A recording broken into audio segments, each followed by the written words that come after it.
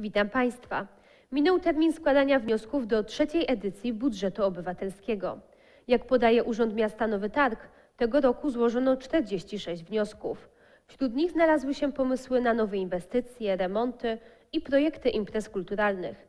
Teraz urzędnicy weryfikują i oceniają wnioski, co potrwa do 11 października. Zostańcie z nami, jeśli chcecie dowiedzieć się, jak w prosty sposób dbać o środowisko.